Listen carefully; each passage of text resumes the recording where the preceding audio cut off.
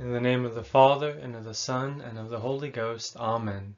Hail Mary, full of grace, the Lord is with thee. Blessed art thou amongst women, and blessed is the fruit of thy womb, Jesus. Holy Mary, Mother of God, pray for us sinners, now and at the hour of our death. Amen. Saint Joseph, pray for us. In the name of the Father, and of the Son, and of the Holy Ghost. Amen. So we're back for another class just like I told you, I'm going to do two classes now on the main two divisions of the liturgical year, the cycle of time and the cycle of the saints. Today we're going to focus on the cycle of time. Now it's going to be a long class. I know that I tried I could try to keep my video short, but it's not going to happen today. It's going to be a long one, but it's also going to be a really good one because we're going to learn everything about the liturgical year. Good, so let's begin. So I have my handy dandy PowerPoint presentation in front of us. Um, the liturgical year, the cycle of time. So some general information to begin. So as I just said, the liturgical year runs on two calendars, the cycle of time and the cycle of the saints. Today we're focusing on the cycle of time and that runs from the first Sunday of Advent to the last Sunday of Pentecost. Usually that is late November to late November of the next year. Now, depending on which hand missal you're using or which book you're reading, sometimes this cycle of time is called by slightly different names. So it can also be called the cycle of mysteries, the temporal cycle, or the seasonal cycle. Those all mean the same thing. They all mean those uh, that succession of seasons and days and feasts and fasts that focus on the life of our Lord Jesus Christ. In your missal, your hand missal, this cycle is found under the section which is entitled Proper of the season. Not proper of the saints, proper of the season. So, your first question perhaps is this. Why does the cycle of time vary every year? You know, for example, it doesn't work like that with the calendar year, January 1st, December 31st, the beginning and the end. That's just how it is. Why is it different for the church calendar? Well, because the cycle of time is all based on Easter. And Easter is the center of the liturgical year. Always remember that. Now, Easter itself is determined by the year's lunar and solar calendar. And when you start to put, uh, put that into the equation, each year it's going to be slightly different. So that's the reason why the cycle of time varies each year. Now I've made a handy dandy diagram thing list of all of the church seasons as found in the traditional calendar. Let's go through them. I tried to make it as simple as possible, but okay, first note, I have a little I have a little note on the screen right here. Note on strict unclass unclassifiability. That basically means we can try to classify them perfectly, but it's not really possible because these seasons of the year grew, like had a very organic development through centuries of the uh, centuries of the church. And it's hard to really define things clearly when they've had that organic development. So anyway let's just go through this really quickly. You have advent and then you have christmas tide and epiphany tide Septuagesima. Then you have Lent, Passiontide, the Holy Triduum. Then Eastertide, Ascensiontide, Whitsuntide, and then time after Pentecost. So, I put a little, uh, some special notes in here. So Septuagesima and Whitsuntide, the font is colored brown. And that's because those two seasons exists in the traditional calendar, but they no longer exist in the new calendar. So that's important to keep in mind. And furthermore, the brackets that I put around some of these seasons means that um, all the seasons in those brackets, they're kind of, in a sense, like conglomerates. You can count them as one season if you want.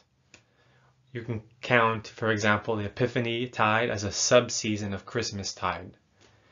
But I'm just trying to be as specific as possible in this video. So, next slide. The cycle of time follows the birth of our Lord until the coming of the Holy Spirit upon the apostles. So it begins with Advent, goes to Pentecost, and then the time after that continue, continuing on. But it's important to note that mystically, this cycle of time represents the beginning of time until the end of time. That's how expansive it is. So Advent is not only doesn't only signify, you know, like the few months before our Lord was born, the time from the Annunciation onwards. Really, it holds in it like all the the cries and moans and longings of all the prophets and people from the beginning of the world who wanted to see the Redeemer. And then conversely, at, at the end, the time after Pentecost, that really includes this current time now. The Holy Ghost, the, the Holy Ghost came at Pentecost, and he continues his, his work even now until the end of time. Now we can go through the individual seasons one by one. I'll try to be as clear as possible here. So, Advent first. Advent usually lasts from the last Sunday of November and always until December 25th.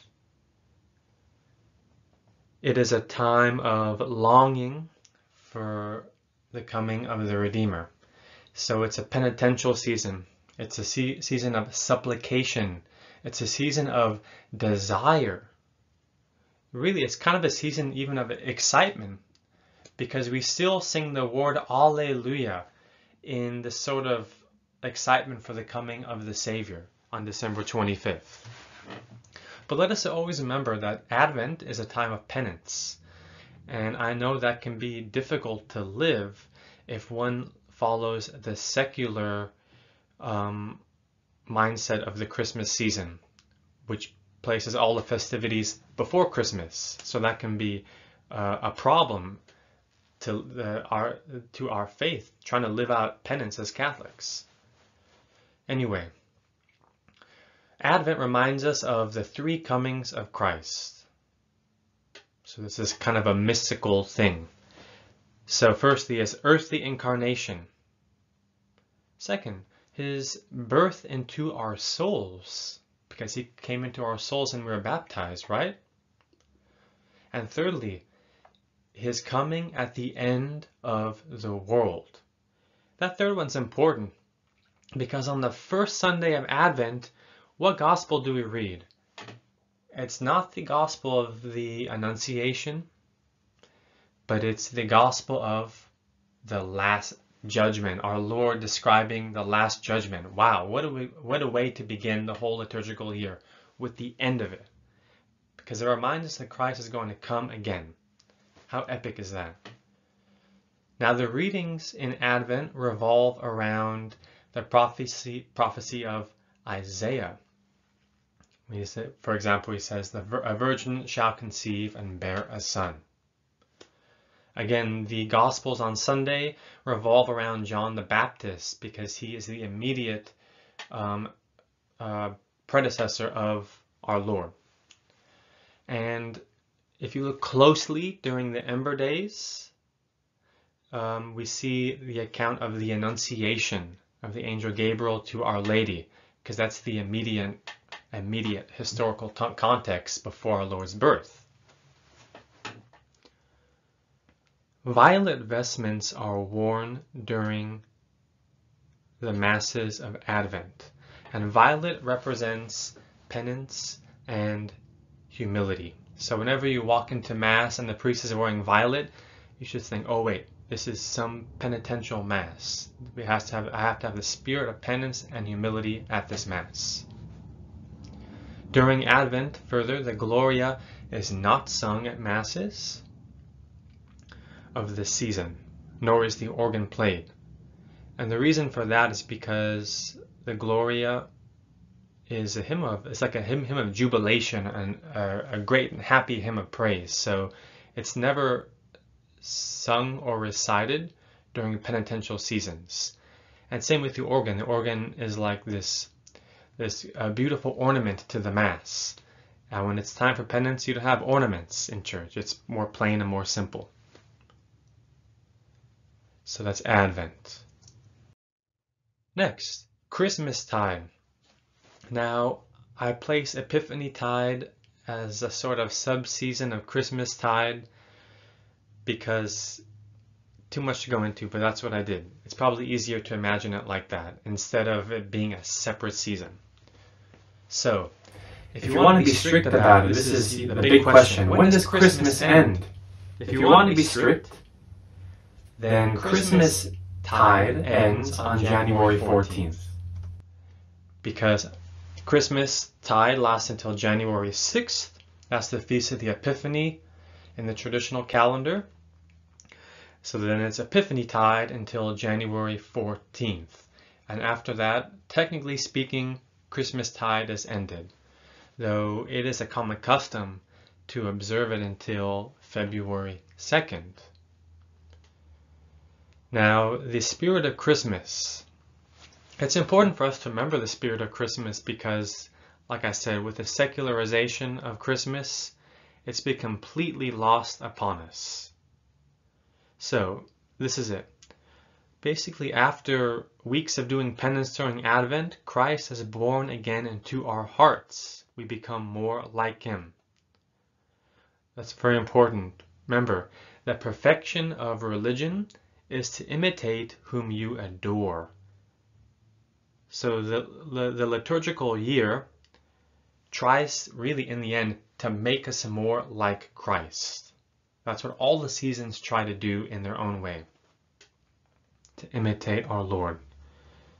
Christmas is also a time of gratitude because Christ appeared appeared to the Gentiles, to the three wise men, and we can include ourselves amongst them. We would have never known Christ. We would have been completely lost had not he appeared to us in his mercy. And we should also seek after the Lord like the Magi did, even going far to seek him. Now further, the Christmas and Epiphany season focuses on, first of all, the fact that God has become man and taken on flesh. So, first of all, we have his nativity. He's a, a child in the crib. You can see him, you can hear him, you can touch him. Then we have his circumcision on January 1st, which is quite physical, is it not? Because God took on human flesh, became a man. And then uh, the next, uh, is it the next day? right after that, you have the feast of the holy name of Jesus. Because when we say the name of Jesus, we think of the perfect God and perfect man. Then the season focuses also on the many appearances of this God man. So at his nativity, he appeared to um, the shepherds. At his epiphany, he appeared to the wise men. At his baptism, that's uh, January um, 13th, he appeared he appeared before men as the son of the beloved uh, of his father, baptized in the Jordan. And then also the second Sunday of Epiphany, after second Sunday after Epiphany, we read the gospel of the wedding feast at Cana, when Christ did his first public miracle. And then lastly, the Christmas season focuses on the divine motherhood of Mary, That's on January 1st. Because you can't say Jesus is born without somehow referencing Mary in that.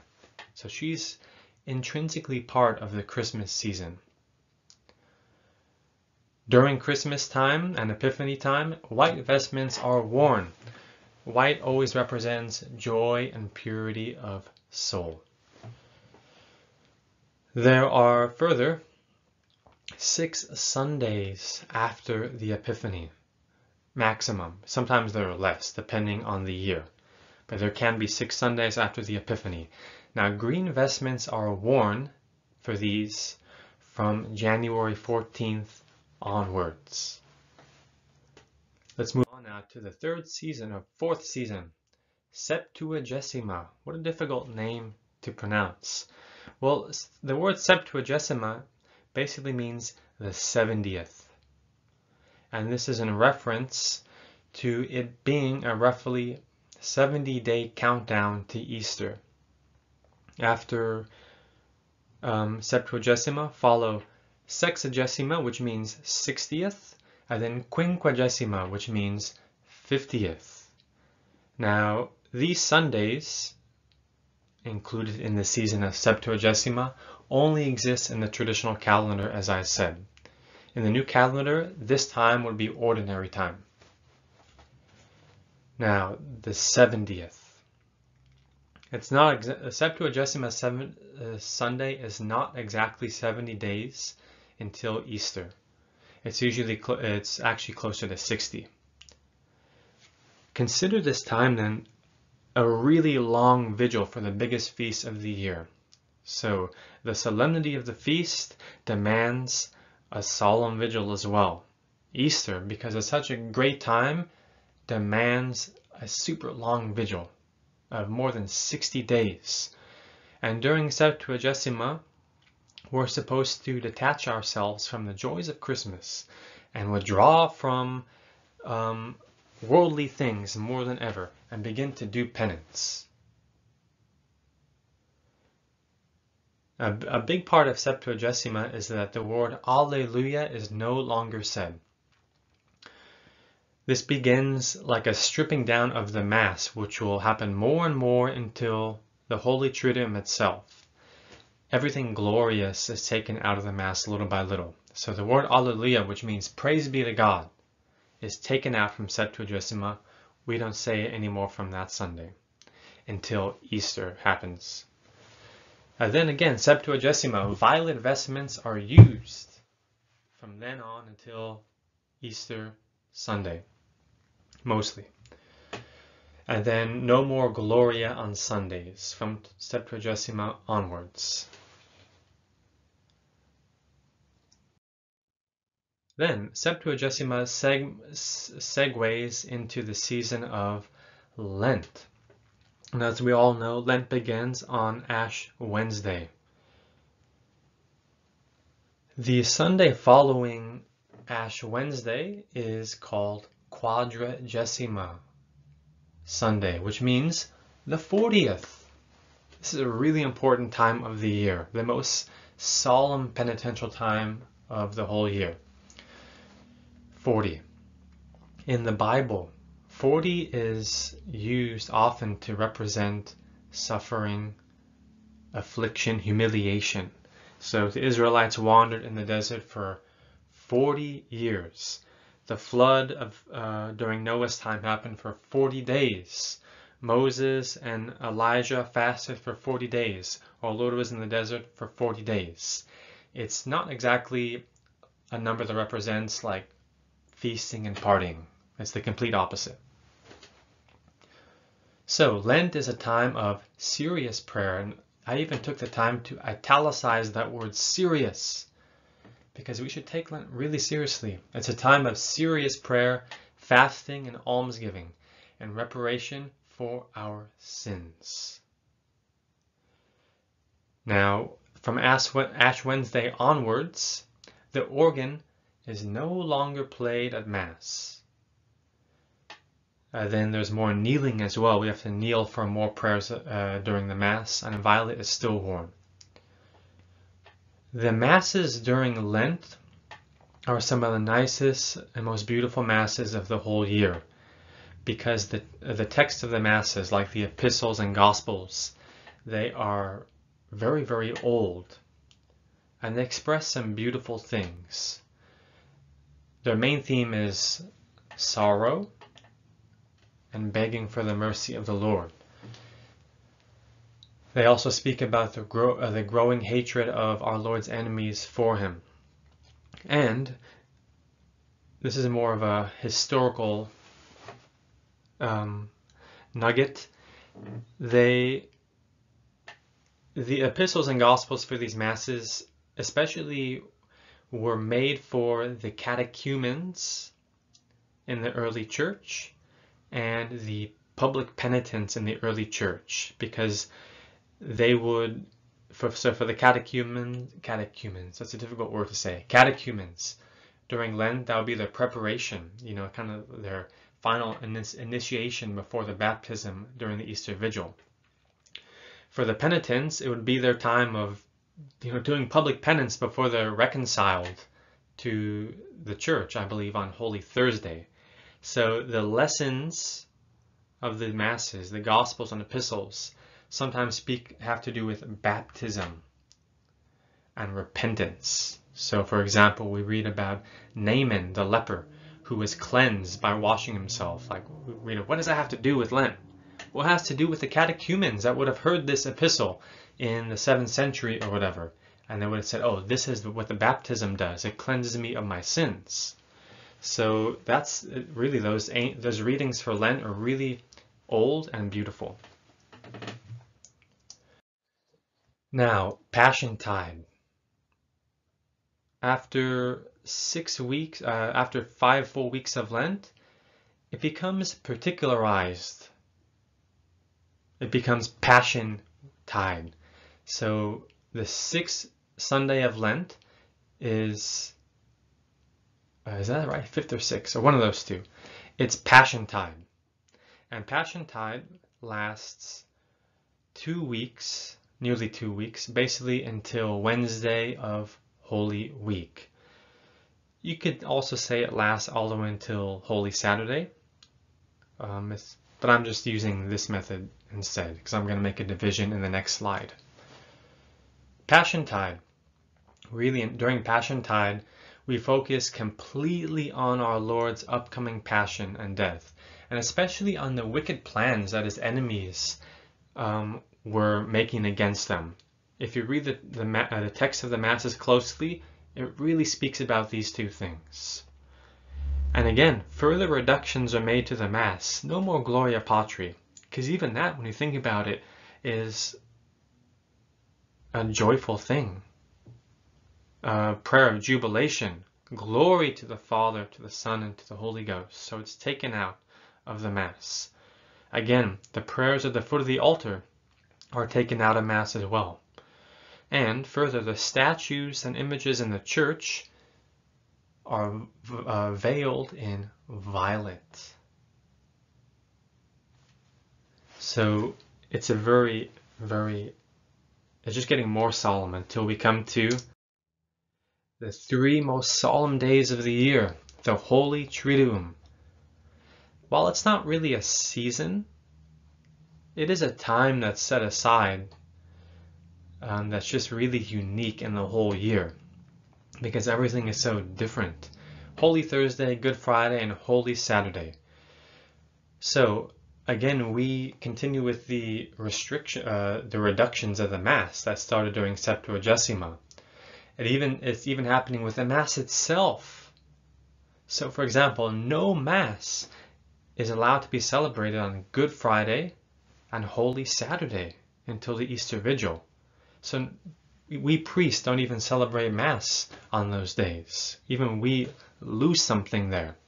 And that's because it really is focusing on our Lord's passion and death, taking away everything so our minds are just focused on that. Really, if there are three days that you should give yourself entirely to the liturgical year, three days that you should take off of work, besides all the days of obligation, they are these days. One could write books and books on the spirit and liturgies during these three days. So that's the Holy Triduum. And now we've come to the greatest feast day of the whole year.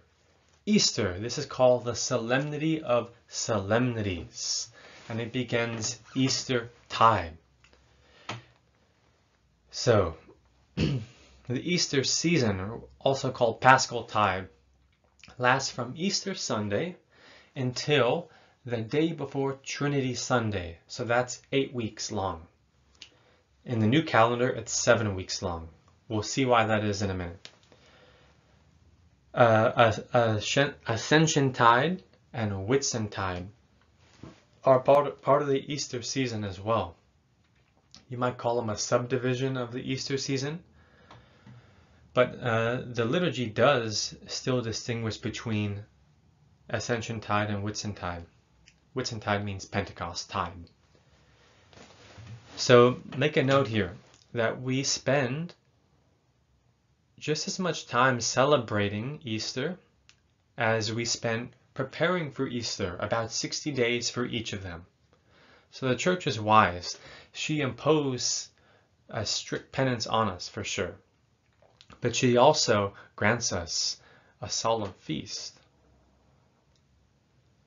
Let us always remember that when Lent is over and Easter begins, it's not the time to give up our good spiritual life that we've made during Lent.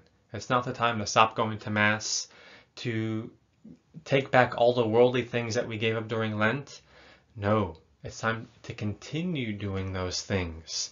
We should have a little, some reprieve um, when it comes to, you know, being able to eat more but when it comes to worldly things, we should never go back to those because our Lord Himself wants to take us away from the world. So it shouldn't be just 40 days away from worldly things. It should be anything that's sinful and worldly, we should try to give up forever. During Easter, we, Easter, the octave, especially, we have probably the most beautiful masses of the whole year. They're just so gorgeous. And um, yeah, we have a. I help at a homeschool camp um, every every year uh, during Easter week, and it's so nice because we get to have a sung mass every day for the Easter octave, and it's just so nice. The chapel is beautiful, and it really makes the whole camp to be able to live the liturgical life fully. So let's go through each of these seasons. Eastertide itself.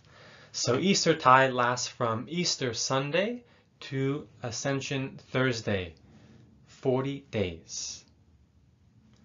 The color white is worn, and the message of Easter is this. It's like a new creation, as most especially in our souls. We, we put off the old man. We remember we worked on that during Lent during Easter, we put on the new man. We're more spiritual than ever before. If you be risen with Christ, seek the things that are above. That's what we must do. So again, the perfection of religion is, is to imitate whom you adore. We're always working on becoming more like Christ. During Easter, we should have a spiritual joy. And I took the time to italicize the word spiritual because that's really important. It's not a joy in worldly things. It's not a joy in sin. It's not a joy in selfishness or self-love. This is a spiritual joy, a taking pleasure in the things of God. The Easter octave, I just talked about that. Anyway, we'll continue on. The picture in the background is one of my favorite pictures. Um, it's um, Christ and uh, at the uh, at the tomb on Sun- uh, Mary Magdalene at the tomb on Sunday morning when our Lord appeared to her under the guise of a gardener. Then we have the season, or might, might you call it subseason, of Ascension Tide. And this lasts from Ascension Thursday to Pentecost Sunday. It's a short season, 10 days long really it's kind of more of a preparation for Pentecost because as soon as Christ ascends to heaven, the focus is on praying for the coming of the Holy Ghost. The message during Ascension Tide is to follow Christ into heaven spiritually by dwelling on heavenly things. So remember, remember this is interesting. The liturgy is never about you know going back to worldly things or going back to your old self. It's always about becoming a new man in Christ and growing closer to Him. White is worn during Ascension Tide still. Now, Ascension Tide leads us into Whitsuntide, also known as Pentecost Tide. Now, Pentecost, the time of Pentecost, lasts eight days. It lasts from the vigil of Pentecost until the following Saturday. This is called the octave of Pentecost. And this octave only exists in the traditional calendar. That's why I said in, in the traditional calendar, Easter is eight weeks long, whereas in the new calendar, it's seven weeks because they don't have that extra week that's added after the Feast of Pentecost. The theme of Pentecost is becoming more docile to the Holy Spirit so that He can, again, make us more Christ like. The Mass propers for the Octave of Pentecost which are proper almost every day, they are exceeding beautiful, some of the nicest of the whole year. The epistles are largely taken from the Acts of the Apostles, and the Gospels from that of St. Luke and St. John. Now here's another historical nugget for you. If you look at the, the Mass propers during the Octave of Pentecost, a theme that runs in them is baptism. Why is this? Well, because in the early church, the catechumens who couldn't be baptized on uh, during the Easter Vigil were baptized on the Vigil of Pentecost. So it's kind of like a second Easter in a way. Now, during Whitsuntide, red is worn to signify the fire of the Holy Spirit's divine love. How nice is that? Finally, we come to our last season, the time after Pentecost. So in the new calendar, this is called ordinary time. In the, in the traditional calendar, it's called time after Pentecost. This is the longest season of the whole year. It begins on Trinity Sunday and it runs 24 weeks minimum, 20, 28 weeks maximum. During that time, we wear green because green signifies hope and eternal rest. Now, the Sundays of after Pentecost should be seen as really a continuation of Pentecost. Like the Holy Spirit came down then, and from then on, He's been working in the world, working in us, working until the end of time. So, this season and also the season the time after the Epiphany are known as a time of pilgrimage. That's why I put a little pic picture of people taking a pilgrimage to a church, because it's kind of us um, just kind of just trying to hike through this life and become holy and get to heaven. And the whole year finishes, the last Sunday after Pentecost, finishes with the gospel of the last judgment, which signifies the end of time. How nice is that? So that's um, an in-depth summary of the cycle of time. There are a few more things that we can say here, but I'm going to try to address them in, in future videos, such as the Ember Days. We can talk about that later. Anyway, next video we'll speak about the cycle of the saints. Anyway, God bless you in the name of the Father, and of the Son, and of the Holy Ghost. Amen. Glory be to the Father, to the Son, and to the Holy Ghost, as it was in the beginning, is now, and ever shall be, world without end. Amen. In the name of the Father, and the Son, and of the Holy Ghost. Amen.